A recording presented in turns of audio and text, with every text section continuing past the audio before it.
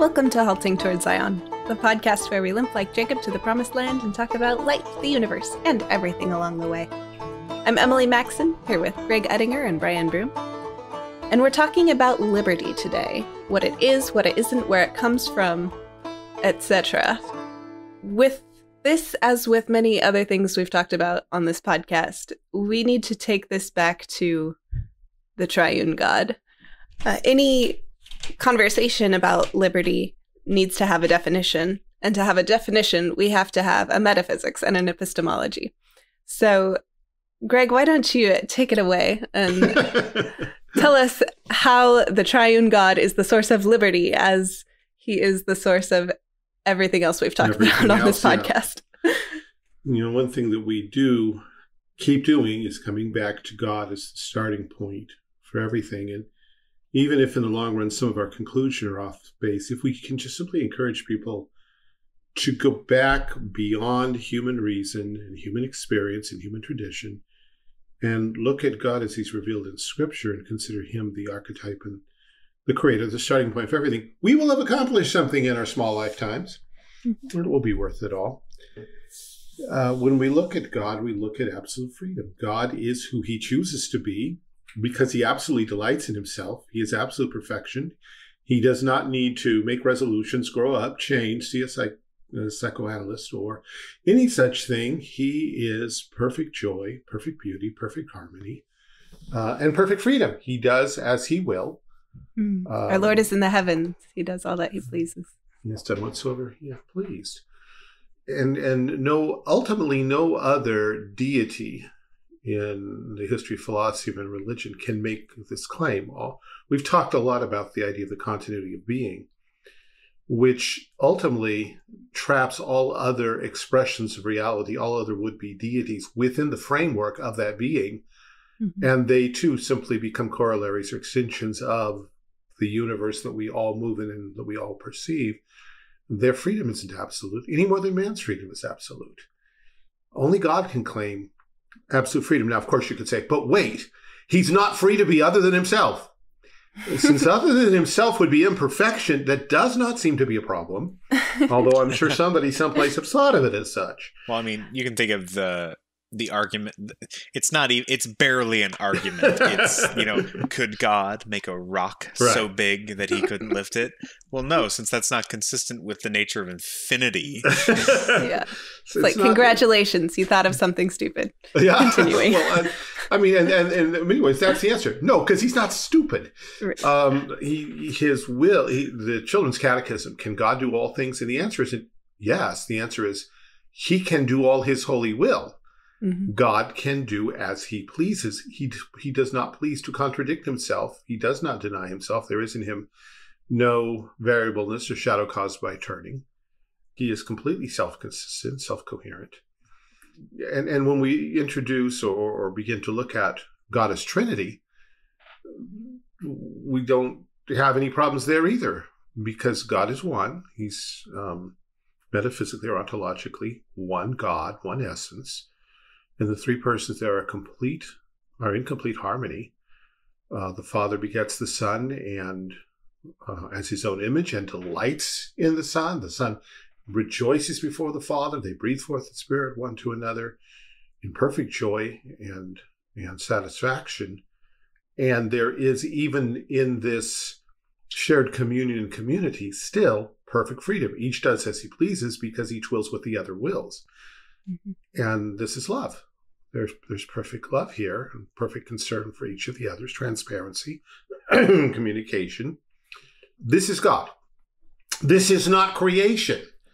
and so Christianity, in drawing this line and saying, "Here's God. He is freedom, and love, and beauty, and glory," and then there's creation, which in and of itself is none of these except insofar as it submits itself unto God. God made creation as his reflection, particularly he made man as his image, as, as his analog.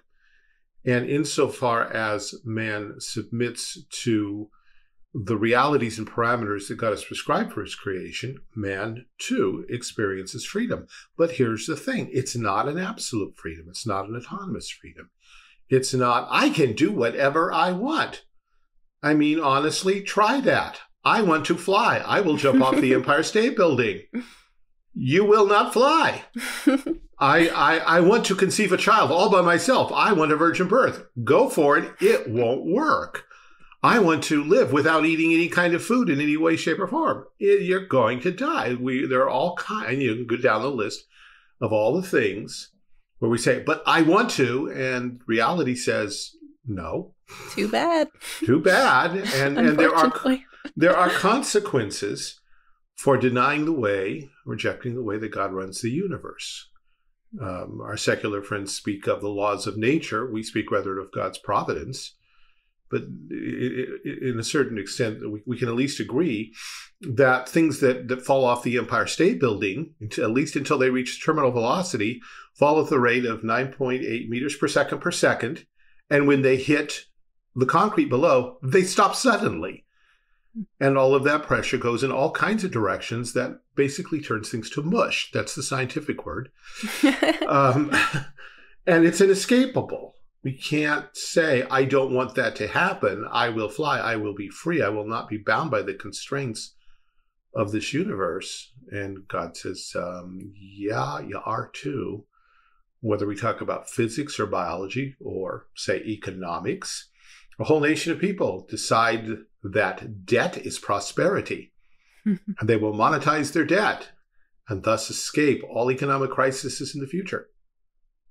It doesn't work because that's not the way God runs his universe. So, although there are there have been a lot of people who've spoken of, of freedom just to do whatever you want, and anything that gets in your way is some kind of tyranny. Uh, the first thing we have to realize is it's not realistic, and, and any little experiment can prove that real fast. Van Til used the phrase, he was, wasn't the first, but I think of him when using the, the word analogical to describe mm. any attribute of God that is shared with humanity. We experience it not in the same way that God, the creator, the uncreated being, experiences it. Everything that we know as freedom is only freedom by analogy to God's freedom. And it's true, but it's an analogy. It's not absolute, as you said. Yeah, and, and we can look at the the definitions of freedom that people have come with come up with over the last well, several thousand years. Aristotle, man is a political animal. Liberty is in the life of the polis do exactly what you're expected to do for the sake of the polis, no matter what that requires of you, and you will be free. By definition, whether you like it or not, whether it makes you happy or not, that is what freedom is, conforming to the life of the polis. With uh, Jean Jacques Rousseau, it's the general will, which isn't too far removed from Aristotle for that matter, because the general will is not the um, democratic vote of everybody, it's the the consensus of the leadership, the intellectual elite, who tells you what your freedom is, and you will submit to it, or you will be forced to be free, as Rousseau taught us. You can you can think of Karl Marx and freedom. Freedom consists of the shortening of the, he says one place, of the shortening of the workday. Uh, really? All this bloodshed, all this massacre, so you can have a shorter workday? That was it? That's all you got for us? Mm. But of course, it means also the abolition of private property, of marriage, of institutionalized religion, and everybody having to work to provide for everybody else, which we will do so cheerfully because our natures will somehow magically be transformed. But there's freedom.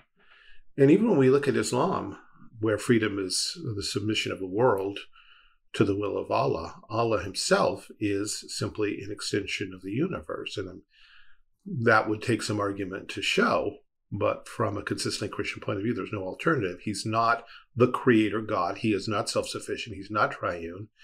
He creates the universe out of necessity, and therefore it is he's a corollary to it and it him.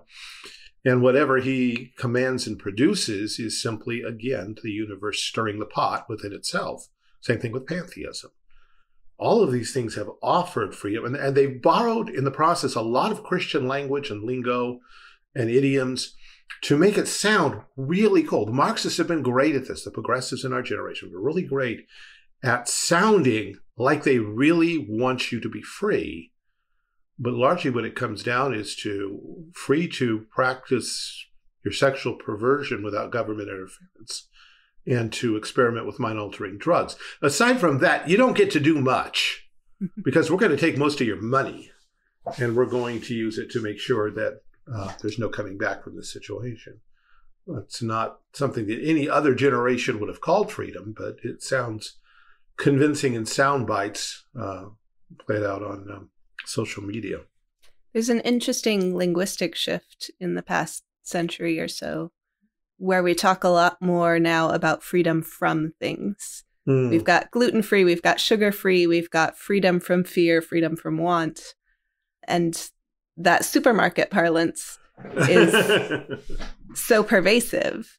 Like sugar free means there's no sugar. It's not you're free to eat all the sugar you want. Right. It's the exact opposite. I don't remember if that was something Orwell touched on in 1984. Eh, I have a, a vague bell ringing in the back of my mind. Yeah, it, w- it would have been worthy of him to be sure. I mean, the, the whole idea of rewriting the dictionary to justify existence and to justify government policy is, is, is hardly new. And it is something you, you started out by, by saying that if we're going to talk about liberty, we need definitions. This is something that my wife and I were talking about just just last night. The need, and here's a good recommendation: the need for catechisms and confessions mm-hmm. to just define basic terms. Who is this God person anyway? As Douglas Adams might ask. Um, what what what do you mean by providence? What what do you mean by law? What do you mean by liberty? What do you mean by salvation? What do you mean by love? There's the big one in this generation. If we have no definitions, we're, we're easy victims for people who just pick it up as an empty banner, as Francis Schaeffer would say, and wave it around. And we feel committed by our, our Christian commitment to follow that banner because Christians love everybody, right? And that's what we're called to. Brian, did you want to say something? no, just just physically reacting like. Hmm. well, it's sort of like you know, if you if you don't have a definition for love, mm-hmm. then even the golden rule doesn't mean anything.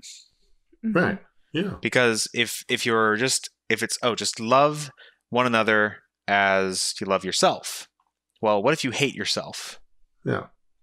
Or what if you think love involves uh, physical harm because your your mind just thinks that way. It, it's yeah. messed up. Like no. there has to be a, an objective definition of love to work from, or else it, it, that that even even the most basic, simple command that even the world likes to acknowledge in words falls apart. Yeah, the the assumption seems to be, well, you all know what love is, but the answer is no, we don't. Uh, pick any random group of people who happen to be standing nearby and say, "You, sir, how would you define love? You, ma'am, how would you define love?"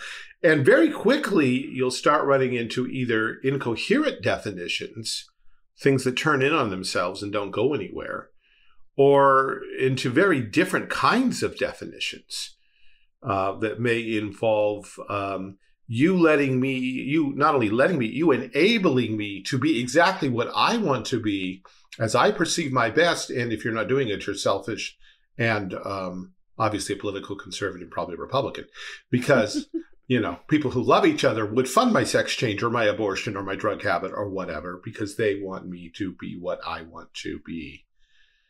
Um, and these are the kind of things we run into so easily, even among Christians, I find. Certainly Christian young people, and I suspect Christian adults as well. It's just come to mean something like total acceptance to the point of footing the bill for other people. And if you question anything, question someone else's lifestyle, life preferences, then you're obviously hateful, evil, a uh, persecutor, and stupid. And I think your that mind, especially your mind is not enlightened. Yeah, I think that especially applies to women today. That if if a man loves me, he will enable me to be who I want to be. Mm-hmm. Whereas if you turn that around, it becomes clear how bad of a definition that yeah. is. and I, am not saying, you know, that's the love that men should experience either. I'm saying that's a bad definition altogether. Right, but it is a very common one, and and and, and you're right. I never thought about it. Just turn it around and say, Well, and if you love me, dear, no, it doesn't count. You're a man. It doesn't work that way for men. Where is that written? You're arguing. You obviously are not sympathetic to, you know, and it just everything starts snowballing into verbal assault that's illogical and irrational mm-hmm. because I get what I get. And anybody who challenges that on any level or belongs to a group that I perceive as challenging it, males, mm-hmm. uh, whites, blacks, um, Asians, whoever, educated, not educated, these people obviously form at least uh, a segment of society that needs radical reform and more likely uh, a self-conscious uh, enemy who needs well electroshock or something to blast them out of their um, their mindset um, or something. Well, we'll, in the next 10 to 20 years we will see what that something is. We'll see how far the progressives go in demanding that those of us who don't agree with them have our thinking readjusted and, and, it, uh, and isn't it so weird? Isn't it so weird too how, uh, for the most part, you know, you you you get these people who currently are on the fringe saying, well, obviously we'll need to have some sort of re-education camps for Trump supporters or conservatives in general or whatever that I don't like uh, to mm-hmm. go to. Um, but then they're also incensed, horrified at the idea of electroshock treatment to counteract homosexual impulses. For the record, mm. I'm not really in favor of either of no, these things. No, but a, the, the intense irony of, oh, of right. being completely uh, horrified, and it, it is. It's just a double standard, and double standards abound on both sides of, this, of any issue. But um, it's just, yeah, that's that's one that I immediately thought of as you were talking about that. Um, well, in terms of, I'm, I'm looking over my original discussion of this material. And interestingly enough, I see that what follows uh, falls into five categories. No and this, way. And this is not an accident. Actually, we've already talked about the first. The source and origin of liberty is God Himself, and we begin by understanding who God is. But then we, the, the second point, and for those of you who don't know what we're talking about, we're talking about covenant thinking. Once you've established God as the source and origin, the archetype of all reality, then you have to look and see what God has done. We can look both at the world around us and specifically look at the world around us through scripture.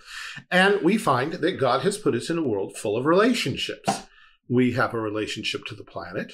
We have relationship to our own families, the family that begat us, uh, the one we create by marriage, the children we bear. We have friendships. We have employers or employees or people we work with. We have people we go to church with and we have commitments to. We have a community, a civil community, a neighborhood, a town, a city, a state, a country, a nation. And these are all givens. We don't, we're not given a vote before we're born. There's no checklist. What what's the the, the recent Pixar um, thing about souls? Oh, it's yeah, soul. soul. It's called soul. All right. Yeah. Yeah. Uh, we we don't get that kind of preparation. Mormon theology may allow for, but biblical theology doesn't. And so we're not given a checklist of what would you like to do, where would you like to fit in, what kind of gifts would you like to have, what do you want that's going to set you apart, what country what hair color, um, what do you want your, your father to do for a living? None of that is anything that we are asked about or get get any kind of vote on. God just plops us into this. And family, God has already defined in scripture as how that works. Church, civil government, these have biblical definitions. Friendships, being an analog also of our relationship to God, comes with some with some severe limitations. Tick off all your friends regularly, and you won't have them anymore. I mean, this is not a hard thing. And it's not, and then we can go on and talk about economics and the market and all all kinds of relationships that God imposes, that God ordains, that God has structured, and that God has described in large part in His Word. And if we want freedom, we have to play by the rules. And that's not oppression. That's not tyranny. That's freedom. Some theologians have written uh, a fish is most free when it's in a river, not sitting on a tree. or a um, railroad engine is free when it's on the tracks, not when it's going over the Sahara. the the boundaries are the things that generate the freedom. We learn to we learn how marriage works, and it's a wonderful thing. We learn how church fellowship works, and it's wonderful and contributes to our own growth and the growth of others. The freedom that exists within a civil society of not stealing each other's property or lying about one another or about the goods we're trying to sell to one another. A wonderful opportunity for growth and prosperity and obtaining new and wonderful things. But if we challenge those, if we break God's commandments, we'll soon find we don't have any friends.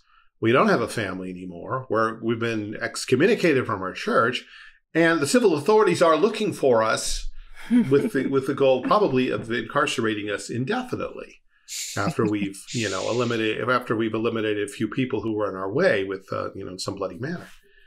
so th- this is the second part of, of covenant life. God structures reality, and we deal with that, and that brings us right immediately into the third, which is to oh. say boundaries. Do you want to say something? Yeah, uh, about relationships. I was yeah, reading ahead. recently Kurt Vonnegut's book Cat's Cradle, mm-hmm.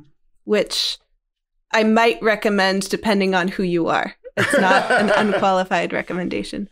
Um, but one of the questions that he asks in a really fascinating way is what is it that binds people together?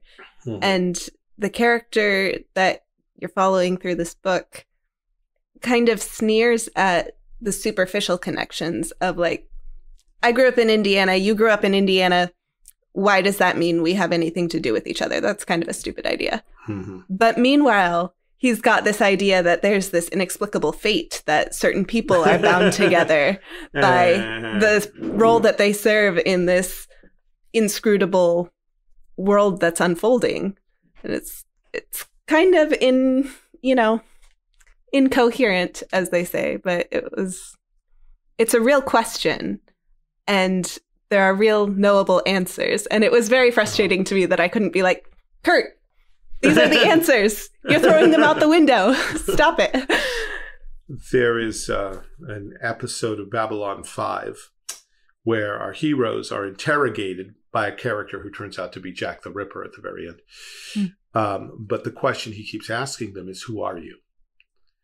And it's the, the it's something similar to what you've described because the well, I this is my name, this is my my family and my father. No, that's your name is just a title. Who are you? No, that's a relationship. Who are and probably the idea is that we're supposed to look at our core values or something like that. I, am not even sure what the, the, the point here was, but um, who are you? And, and it's um, it's originally taken from the Lord of the Rings, where uh, Aragorn and um, Gimli and Legolas are crossing Rohan, trying to catch up with the, the hobbits and the orcs that took them. And the riders of Rohan come sweeping by and circling them and challenge them. And the question is, come, who are you? Whom do you serve? Mm-hmm. Which is very much a question about relationship. It is not amiss to say, I am married to Kate Uttinger. I am a member of the Reformed Church of the United States uh, you two and others I could name are my friends and associates and colleagues. This does define who I am. This is not, oh, these are just externals. What's really important is what's in you. No, no, no, no, no, no, no, no. This God puts us in these relationships, mm-hmm. and these relationships make real claims on us and are in in good part our identity. The church we belong to does define who we are, and therefore choosing changing churches is not a light thing.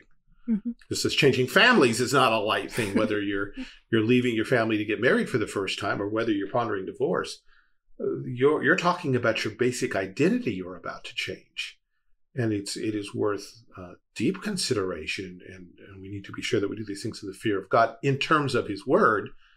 And again, that brings us to the third point, which is simply discussion of the law of God in all of its broadness. In all, uh, David says, I'll, I'll walk at liberty because I keep your commandments. The commandments are exceeding broad. It's not a narrow tightrope of, well, you only got so many choices here. Be careful. God's going to smack you. It's, okay, you're not committing adultery, stealing, or killing people.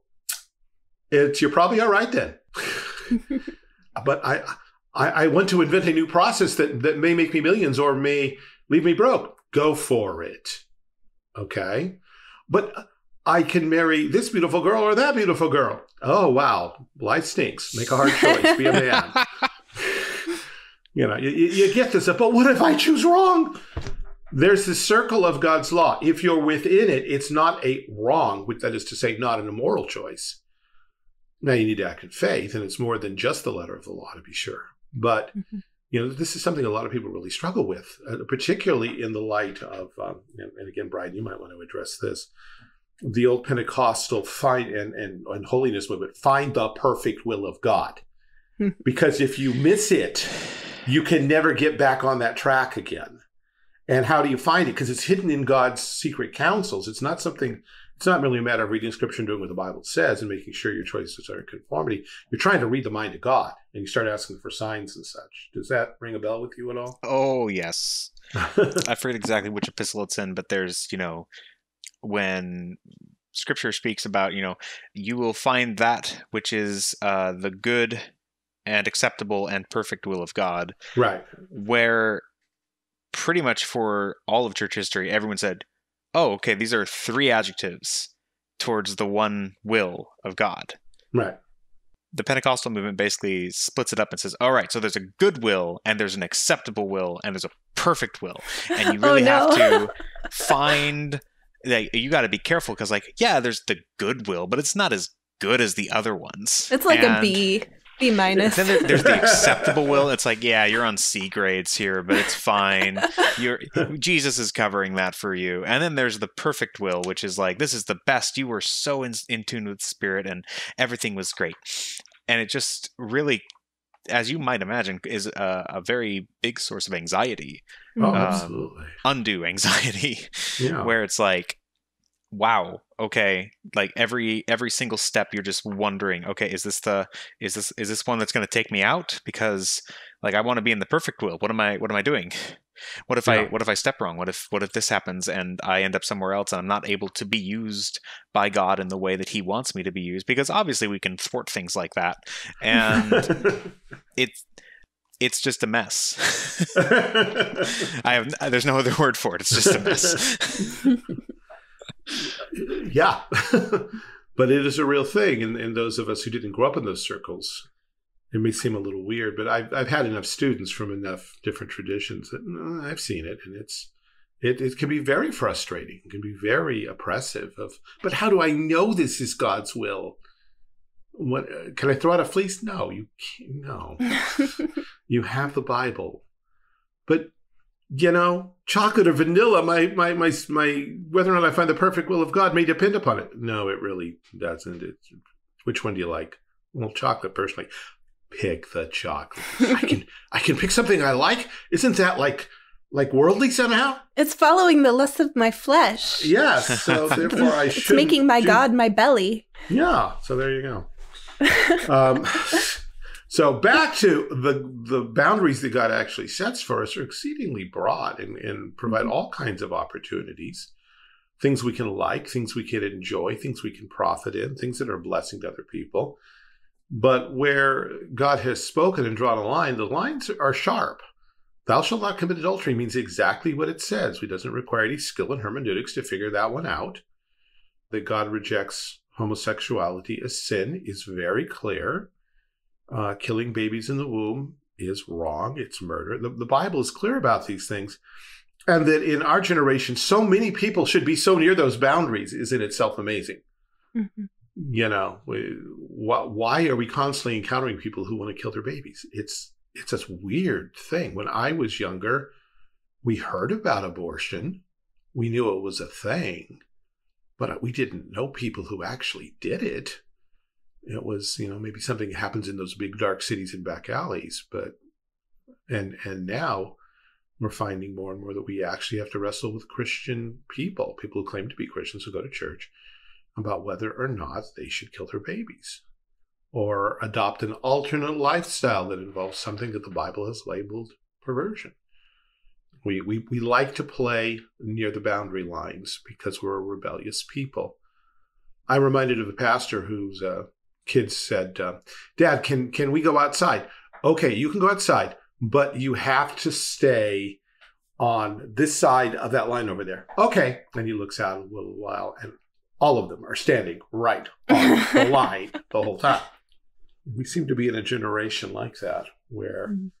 some things that in, when I was a kid, that uh, hypothetical problems, sure, moral dilemmas in the abstract, sure, but real things you actually had to talk to people about because they were about to do them, no. Society has changed dramatically in the last 50 years and probably will accelerate in those changes because we've used up most of our Christian capital. People don't believe even superficially in Christian principles and Christian morality anymore. And therefore, they don't believe in freedom. What they see as freedom is slavery. It's slavery to sin, to addictions, to sexual lust, to sexual diseases, to death, to the will of the majority, lest we cross them with our political incorrectness. Uh, this is this is a world of bondage, far more than what I grew up with. Mm-hmm. Well, that brings us to the cross. That brings us to the mm-hmm. fourth point. How, where does freedom come from? Freedom comes from Jesus Christ. Uh, if the Son shall make you free, you shall be free indeed. We need our sins forgiven, which means we have to admit we have them, uh, and that God defines them, not us. And when we find forgiveness in Jesus, then we also find the power of the Spirit to stop sinning, not perfectly, but substantially, to grow in grace and to turn from progressively more and more of the corruption that has enslaved us. And we're not perfectionists. We're not, um, you know, take, get the second blessing and you'll never sin again. But neither are we antinomians who say, well, your sins are forgiven, go live any way you want. Because that's not freedom. Mm-hmm. It's not freedom to tell somebody your sins are forgiven, but this thing that's been driving you crazy, you're just going to have that forever because there's no real help in Christ for that. And he doesn't even want to help you with that. And I mean, well, maybe if you get really serious and want some kind of special extra grace experience down the road, sure, you can make Jesus Lord of your life. You can have some kind of second blessing, but just be happy you're going to go to heaven when you die. Whereas the gospel represents itself as a new creation, the, the imparting of a supernatural fruit through the Holy Spirit so that we become new people with a new lifestyle, new character, rooted in the resurrection power of Jesus. And when this happens to a people, a community, a nation, then freedom becomes possible. But to try to do it the other way, to come from a purely political or statist or militaristic approach and say, we will make you free, obey us and keep these rules, is to engender bondage and hatred and internal warfare and slavery because mm-hmm. telling someone be good doesn't make them good, doesn't empower them to be good, and simply becomes, um, on the one hand, a path of frustration, on the other hand, uh, a cloak for doing all kinds of nasty things in the back, in the closet, in the back alley, uh, in the basement, that are destructive. And this is true whether you do it in the name of Christ or you do it in the name of some other religion. Mm-hmm. I was having a conversation several years ago with a friend about Jane Eyre, the book. Mm-hmm. Um, and this friend didn't like the book because, in his view, morality for Jane was a boundary that kept her from doing something she wanted to do rather than the driving force of her character, mm-hmm. which I see, except that it leaves out the gospel. Mm-hmm. That the central driving force of Jane's character is not morality because morality is a bad engine for your character. yes, it is. Um, the driving force of the character of Jane Eyre is the gospel of the resurrection of Jesus Christ. And I've come back to that book and wrestled for a long time with that argument um, before reading it again. And no, it's a great book. Everyone should read it. It's about the gospel. I think my wife would agree. It's her favorite book. That uh, and that leaves us with the fifth point: uh, the heritage of liberty to secure the blessings of liberty to ourselves and our posterity. Well, you know, constitutions and declarations and legal codes play a part in that, but ultimately, what we're transmitting is a covenant way of living. We're we're we're passing on the gospel. We're we're inviting our descendants, our children and grandchildren, great grandchildren, to believe in the God that we believe in, to serve Jesus Christ, to trust Him to be the source of our morality, to change us from the inside out, and to cover our sins with His blood. And when a nation continues to act this way, it will find itself progressively free from fraud and theft, including by the government, from the attempts to create a welfare state, eh, from laziness. People will want to work. They'll want to rejoice in God's creation. They'll want to create new things, new products.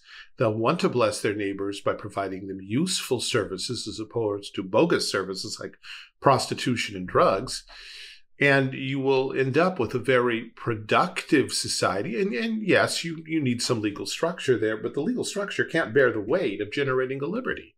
Mm-hmm. Um, and we've, we've tried that over the last couple centuries where we've taken, or someone's taken, the US Constitution and tried to impose it on a different culture. It was tried in Mexico. It was tried uh, just before the Bolshevik Revolution in Russia when Prince Lvov was um, in control for a little while. And it just doesn't work. It, doesn't work simply to have this these rules and this structure because they're they're a reflection of the character and history of the American people, uh, and reflect uh, what was at one time a deep commitment to righteousness, to morality, as defined by Scripture, to hard work, and to not messing with other people, letting them be themselves, mm-hmm. e- even where it was far from perfect even where the faith was not clear and dominant, still, even the echoes and the backwash was enough to give America a certain amount of political freedom and economic freedom that startled the world and continues to be something amazing. And although there are things we can repent of and apologize for, yet overall, the tendency of American history, because of its roots in the gospel, has been more positive than negative. Some people may not may think that's faint praise, but compared to the Roman Empire or the Greeks, it's actually pretty good. Yeah, yeah. I mean, the root of this is these are not political problems, and so a political answer is yeah. not going to solve them. And I think conservatives are some of the most guilty of trying to solve problems with policy that are not political problems. Like the love of family is not going to be generated by a policy that supports strong families this is a value problem. Yeah, yeah Augustus tried that one when he was uh, um, ascending the throne, as it were, although he technically never did. But you know, he he actually not only encouraged families to have more than two children, but actually was offering economic incentives because he and the Roman people generally recognized that if we don't start having more kids who are Romans by descent and by law, we're going to be hiring mercenaries. We're not going to have a tax basis. We're not even going to be able to have senators who are Romans setting our laws. We're going to turn our future over to other people. And they saw the problem. they still didn't want to get married and stay faithful and have kids. So along came Christians and started adopting kids that they found outcast beneath the aqueducts and such. It's, as you say, it's a value issue. So, whom do you love? Whom do you serve? Who are you? These are real questions that we need to, we, we have to face and we have to ask ourselves. Mm-hmm. Does that about cover it? Any other comments on liberty? I'm done. Let's wrap up with some recommendations. I got one. Yay! The problem, my problem is I forgot to keep writing them down when I think uh. of them.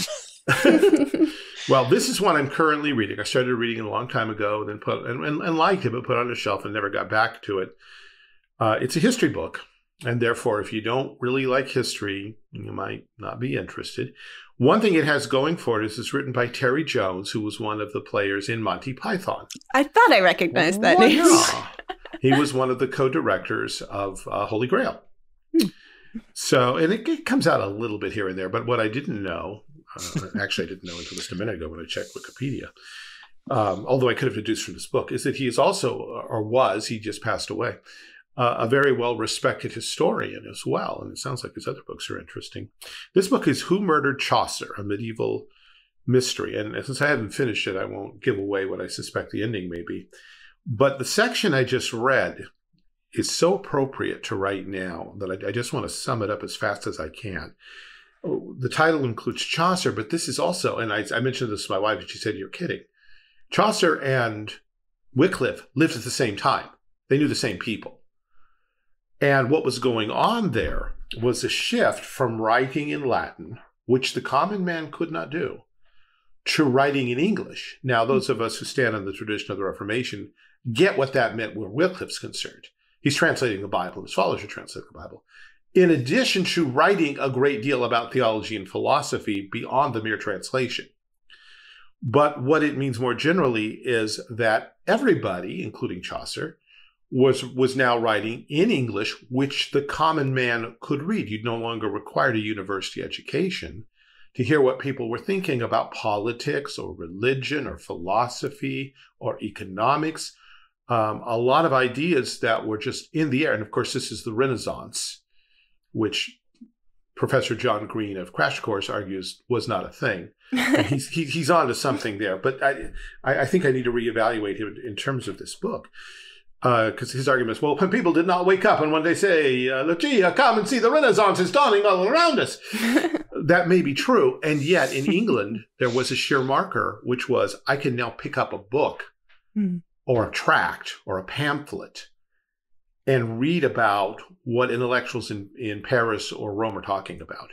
And I can go upstairs with a bunch of my pals and play whatever their version, version of checkers is and have a drink. And we can debate this. Mm. The level of intellectual conversation is being elevated in English.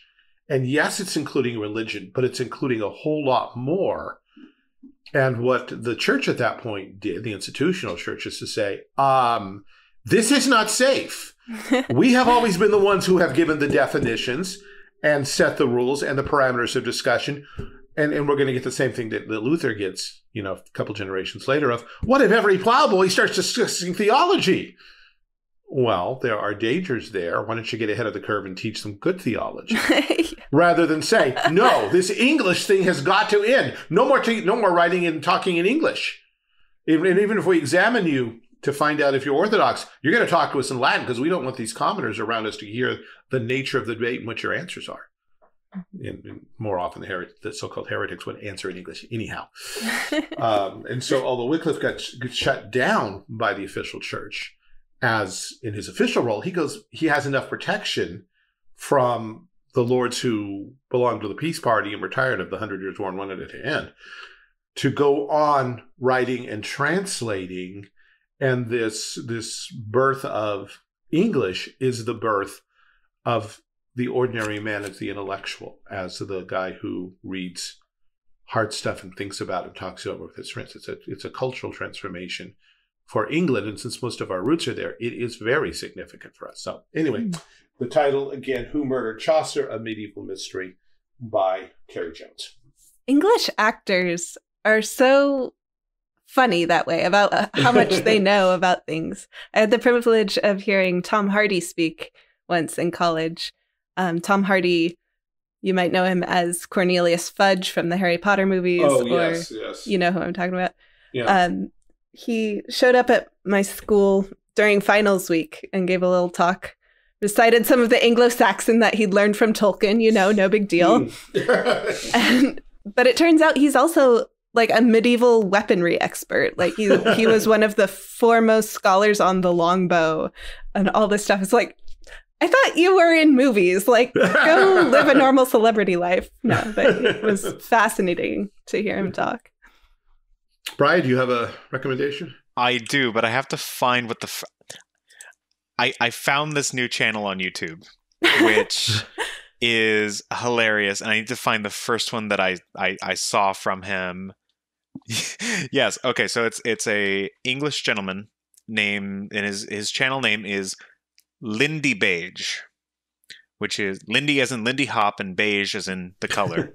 oh. And um, his very first video was a a very odd rant, but I ended up agreeing with him by the end about the the pure insanity that in every Hollywood movie, whenever someone is tied up and they are let go from their bonds, they just cut the rope. He goes, "No."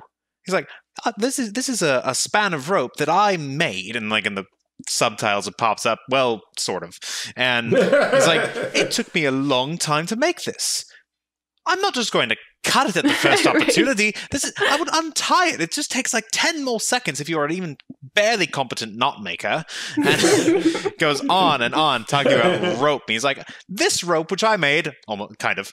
Every single time he mentions that. Uh, and then I, I started watching other ones he did and it's mostly about medieval technology. Like um, he has one about how Scottish Highlanders would fight with a broadsword and targe. And then one video about fire arrows and why they are nonsense.